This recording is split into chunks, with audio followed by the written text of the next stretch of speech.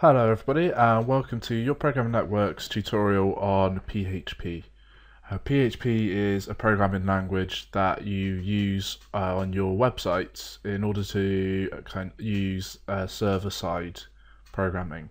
So what that means is that when a user comes onto your website and they request a web page, uh, rather than just returning a HTML file, kind of pictures and text, it's going to go to the server, the server's going to run some code, and then that code is going to produce a file.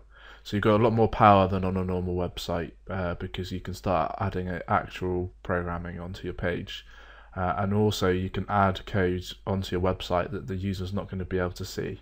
So you can start referencing databases with passwords uh, and pulling out all kinds of code and doing validation and security.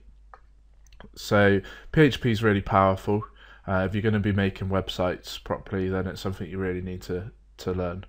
Uh, so let's get started. The first thing you're going to need to do is set up a PHP uh, web server. Um, so I'm going to be using a uh, one that activates on my local uh, server uh, called XAMPP.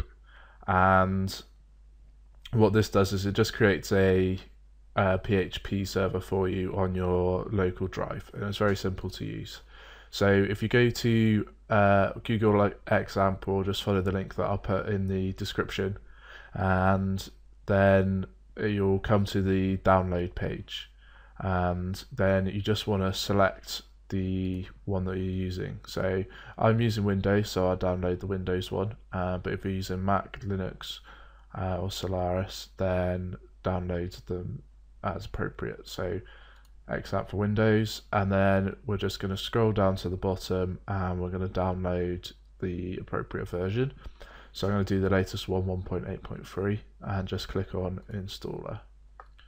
And then that's going to start downloading that installer down here. Um, I've already downloaded it, so I'm just going to cancel that one and then open it up and click on yes and then it's going to come up with the installer. Uh, first thing it's going to do is come up with this warning message, and all this is doing is just telling you not to save it in program files times 86. Uh, so just make sure uh, when we click on next, and then next again, uh, that you don't select program files 86 in that folder. So this one, just don't select that. Uh, I would advise putting it in your documents and then uh, in a folder called XAMPP that you will need to make yourself. So just click on make new folder put in XAMPP there. Uh, and then just click on next. Don't install these apps unless you want to. Uh, you can check them out. And then it's ready to install. So just click on next and it will start to install it. Uh, I'm going to cancel this one because I've already got it installed. And then you just need to open up the control panel. So if we go down to our start menu, control panel, and then you should see the control panel looking like this. Uh, we can make it a bit bigger. Uh, and uh, the what we're going to want to do is just activate Apache and MySQL. So just click start on both of these. And if it's not letting you open it up, then it's normally because this port 80 is already taken by a different program.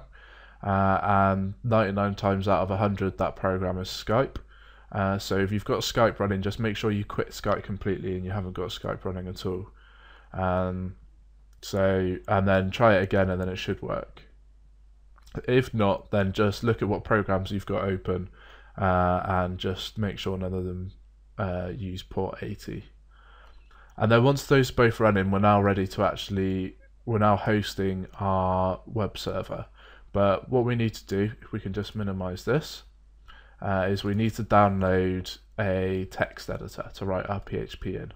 So I'm going to download Notepad++, so just go to the Notepad++ site, download, and then just click on download and then this is quite a small download uh, only 7 meg uh, and so we'll just wait for that for two seconds and then we're going to install in English. And then it's just the standard setup, so just choose where you want it, uh, choose what you want, and ignore them, uh, and then just click install. And then uh, it's saying it's already been installed, so that's fine. And then finish, and then it will run Notepad for us. Um, we've got an update so just update selected and then any updates it's doing will do and then we can open it up so let's just show you through this